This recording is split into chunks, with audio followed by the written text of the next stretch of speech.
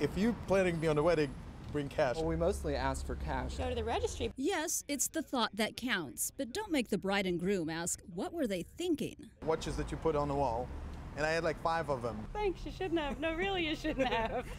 According to the anything political or religious, like a Jesus nightlight, is a no no.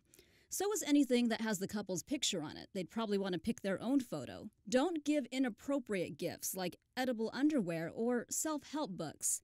And avoid art. They might not have the same taste as you. And if you're giving anything with a monogram on it, make sure you know how the bride will want it to read. She might want to include her maiden name instead of her middle name, and she might not change her name at all.